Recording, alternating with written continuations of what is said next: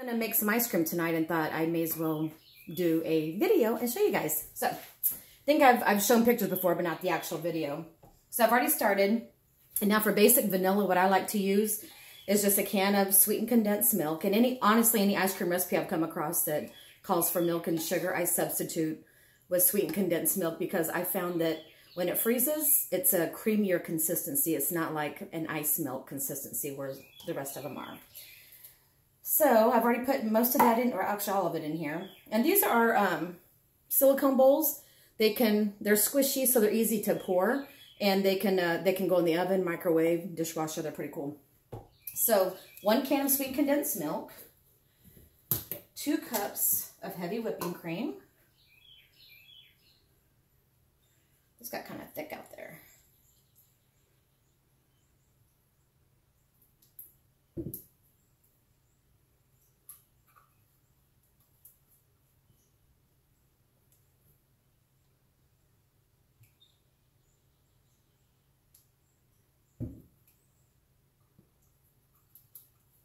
And halfway through this, if you want to add some Oreos, some chocolate chips, whatever your favorite toppings are, usually takes about 30 minutes to whip up a batch of ice cream. And uh, so in 15 minutes, you can add whatever you want. Sorry, I didn't have my vanilla ready. Okay, and then I put about two teaspoons of vanilla. That looks like one, and that looks like two. So you just mix all that up. Now, in the meantime, you keep your um, the base of the ice cream maker in the freezer because it needs to be cold, cold before you start. And a lot of times I will chill my mixture first before I pour in the ice cream maker. But today I'm not because I'm doing a video. And this way, I have to wait. So it might take a little bit longer than 30 minutes. It's not bad. Okay, so that's all mixed up. So there is the base for your ice cream. Simple. Simple, simple, simple. So the ice cream maker itself comes with this little orange lid, and I just, when I keep it in the freezer, I just always keep it on there. And then here is your attachment. And I just keep this attached all the time.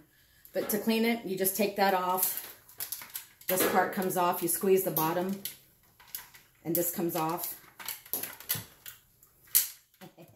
Gotta be smarter. So it all, all comes apart to clean up easily.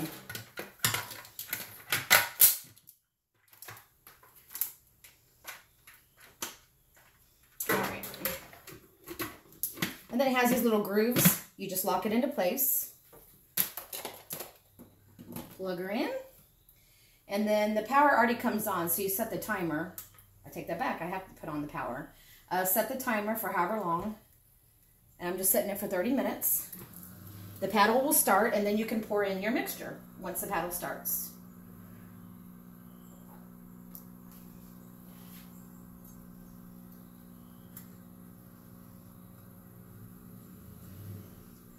That's why I love the silicone bowl because it makes it so easy to pour anything pancake batter, which we have our new pancake shaker blender for that too. Um, brownie mix, cake batter, I mean anything, it just makes it so much easier. All right, so then that will be ready in 30 minutes. In the meantime, I'm going to make a lava cake in the microwave in my Rockcrok Everyday Pan. Sorry, I literally just decided to do this, so that's why I have nothing in front of me. Okay, so I'm gonna set that to the side. This is the Rockcrok Everyday Pan. It's a smaller, smaller one. I think 2.5 quarts, if I'm not mistaken. Um, I don't use it as often as the, the larger one, and I keep it on the counter in my um, slow cooker stand because I use that for like soups and bigger meals and stuff. But I use this a lot for vegetables, potatoes, and to make cake. So, the lava cake's super simple just take a package. I know I've shown this video before too. But I thought, why not go ahead and do it again for those of those new people that maybe just joined my website. Or my, my page, I mean. So you just take one package of cake mix. One can of diet soda.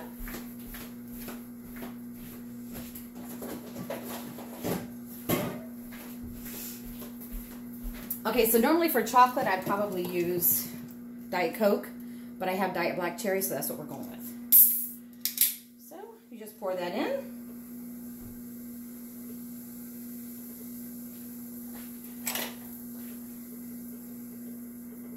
Can y'all see this?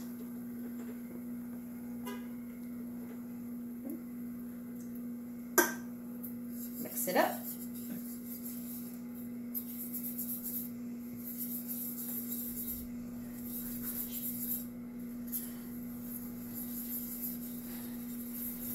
And now this itself will just make really good cake, but if you want to make it a lava cake where it's got like a frosty or a fudgy center, then you're going to add some frosting to it.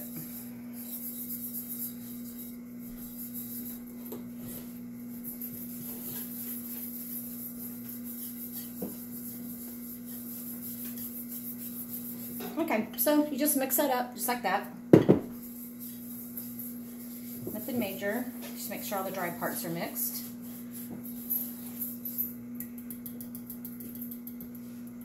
Then, just take a can of frosting.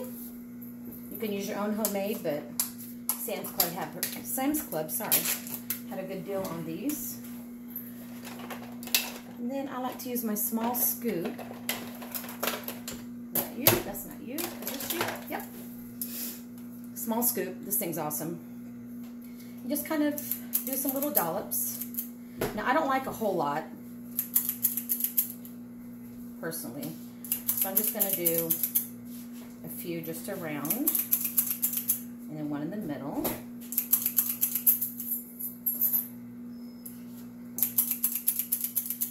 Okay, so that's it. So you've got your cake mix, you got your frosting just dolloped on there. You don't mix it in. Put the lid on it, microwave it 10 minutes, not 15 minutes, sorry.